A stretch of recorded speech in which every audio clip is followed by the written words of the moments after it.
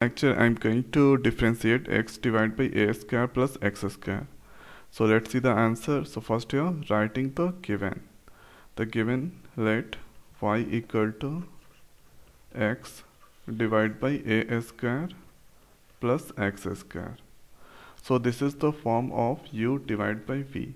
So if you have form like this, so you should follow the quotient rule. So what exactly the quotient rule is? So d, d u v divided by dx.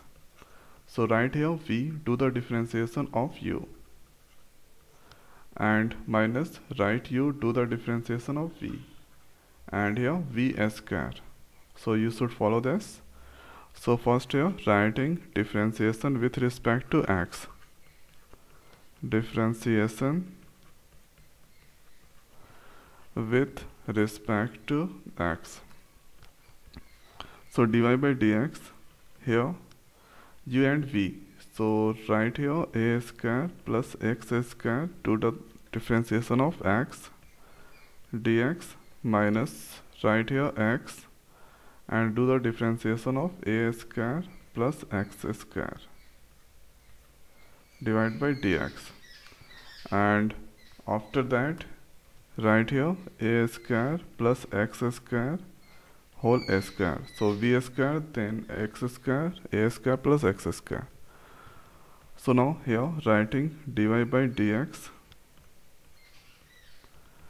So this is a square x square and this dx by dx that is equal to 1 here x so a square differentiation 0 plus x square differentiation 2x so this here 2 into x my, 2 minus 1 that is equal to 2x divide by a square plus x square whole square.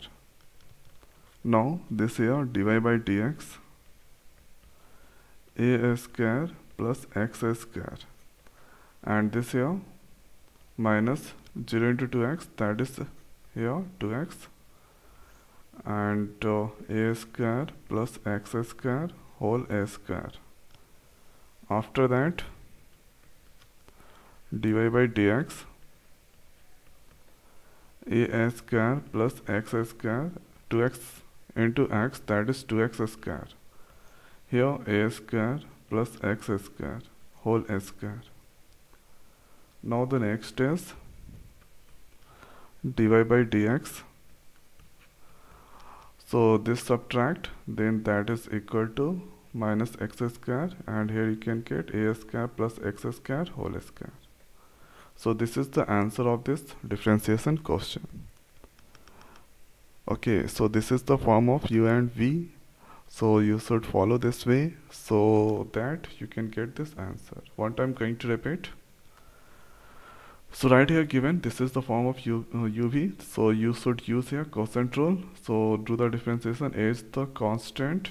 So constant differentiation 0 so here doing the differentiation of u part that is x and v part a square x square. So a square differentiation 0 x square differentiation 2x and after doing the calculation then you can get this terms. So this is the way we can do the differentiation of this question so now in this video it's over. So thanks for watching. See you next video. Thank you